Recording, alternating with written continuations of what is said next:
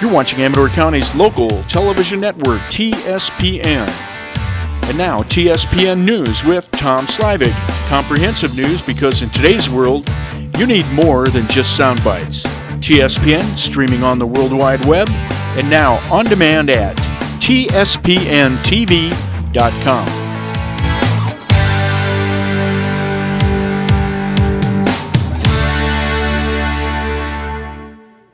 Hello, everyone. I'm Tom Slivick. Welcome to TSPN's News for today. We're going to delve right into the stories. Well, this is your opportunity to provide Caltrans and ACTC with feedback on the design concepts for State Route 88 Pine Grove Improvements Project. The California Department of Transportation, that's Caltrans, is the lead agency under the California Environmental Quality Act, CEQA, and the National Environmental Policy Act, NEPA in cooperation with the Amador County Transportation Commission, ACTC, and they propose to modify State Route 88 through the town of Pine Grove in order to reduce congestion, improve operations, and enhance safety between the intersections at Climax Road and Tabeaud Road. You are invited to attend this public workshop for the State Route 88 Pine Grove Improvements Project Representatives from Caltrans and ACTC will be present to provide project updates, discuss the realignment of the project design or the refinement of the project design, and get your feedback. There will be an open house beginning at 5:30 p.m., which will include maps, exhibits, graphics, and an opportunity for discussion with project representatives. A brief presentation will begin at 6 p.m. ACTC will then hold a workshop to present all of the project concepts to date and get your input. The meeting will be held in the Pine Grove Town Hall at 19889 Highway 88 in Pine Grove, California on Wednesday, December 12th at 5:30 p.m. And once again, the open house is at 5:30 p.m. The presentation begins at 6 p.m. followed by a workshop at 6:20. And the Amador County Technical Advisory Committee meeting will be held on Monday, December 10th at 10 a.m. in Conference Room A of the County Administrative Center, 810 Court Street, Jackson. The matter on the agenda for review and possible action is a request by George and Ray Charos. Graham Simmons was representing them for a variance from County Code Section 19.24.040, which requires a 25 foot front building setback to allow construction of an enclosed walkway from the existing dwelling through the front building setback into the road right of way to the edge of the pavement on Danberg Drive. The subject property is Lot 55, Kirkwood Meadows Unit 1, located on the west side of Danberg Drive. That's about 600 feet from its terminus in Kirkwood.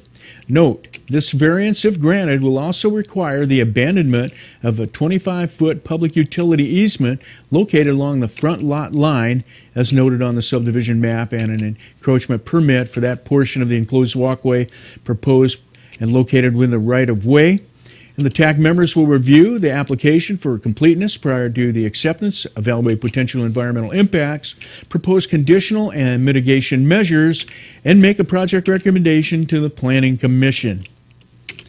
ARSA and Sutter Creek Wastewater Master Plan Workshop is scheduled for Thursday, December 13th at 1:30 p.m. in the community building at 33 Church Street, Sutter Creek. On the agenda for discussion and possible action is the master plan update.